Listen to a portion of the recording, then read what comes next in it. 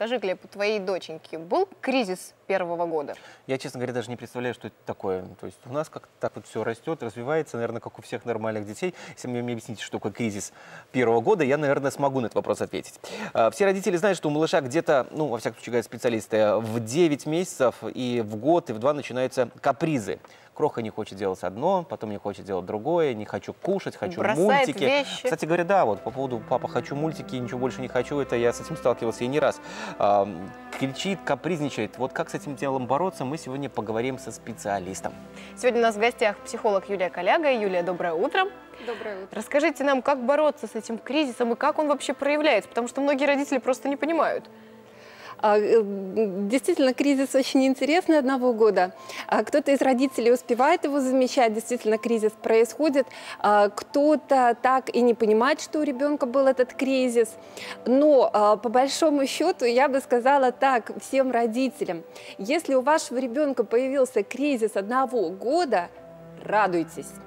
Э, Чаще всего даже в таких ситуациях я говорю, бежим в магазин, покупаем 8 тортов и одну свечку и начинаем А почему 8? праздник. Ну, как у Карлсона. Ага, все ясно. Ну хорошо, тогда несколько вопросов дать совет родителям. Ну вот ребенок капризничает, не хочу есть, хочу смотреть мультики. Что делать? Наказывать? Или либо же давать смотреть мультики и кормить одновременно. Вот есть же много, много ситуаций, как с этим всем бороться. и- Каждый родитель выберет для себя свой собственный рецепт. А, Если мы говорим про кризис одного года, то э, здесь он будет обусловлен именно тем, что ребенок а, вырос. Кризис глубокий кризис, он не у ребенка. А, Когда родители жалуются на то, что ну что делать с этим ребенком, кризис настал у самих родителей, потому что это именно родители не успевают за возросшими возможностями и потребностями ребенка. Ведь э, суть кризисов заключается именно в том, что к году дети начинают ходить и разговаривать.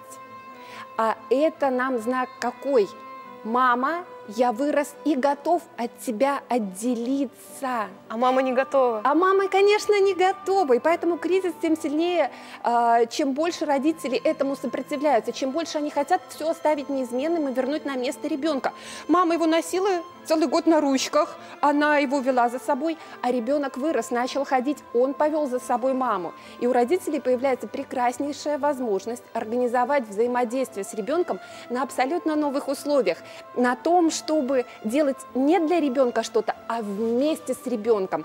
Э, Играть в игрушки, э, заниматься какими-то предметными действиями.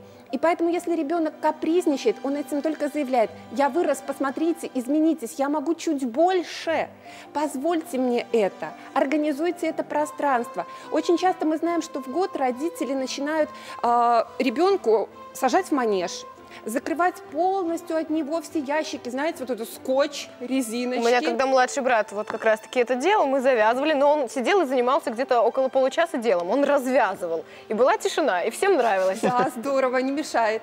А, Очень хороший рецепт в этом случае. Не сажать ребенка в манеж. Отдать ему как можно больше пространства, сделать его безопасным, а вот эти ящички и полочки наполните интересными игрушками. И тогда, открывая ящик, ребенок будет открывать мир.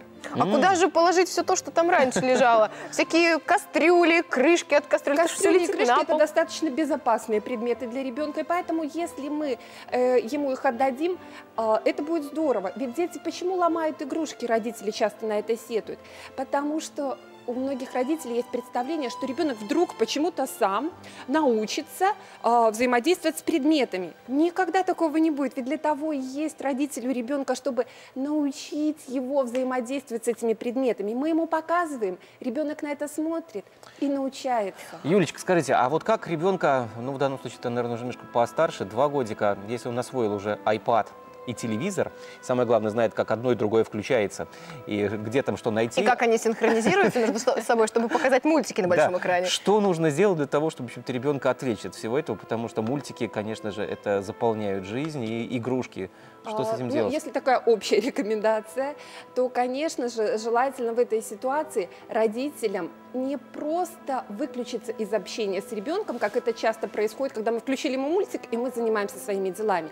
Это заниматься именно с ребенком, увлечь его другой игрой, другим делом, а, пойти с ним на улицу погулять, а, что-то вместе помастерить, да, поиграть в красками даже, порисовать, пальчиками, да, Мгм. это будет очень здорово. Поэтому если мы ребенка переключаем на другое действие, тогда ему нет надобности находиться в этих мультиках без конца. Самое главное еще и родителю переключиться от того, что все было плохо и шумно, а сейчас все хорошо и спокойно. Спасибо большое, Юль, были рады вас видеть. Как всегда, очень мудрые советы. Я думаю, что родителям, которые смотрят сейчас телевизор, будет очень полезно услышать все то, что вы для них сказали.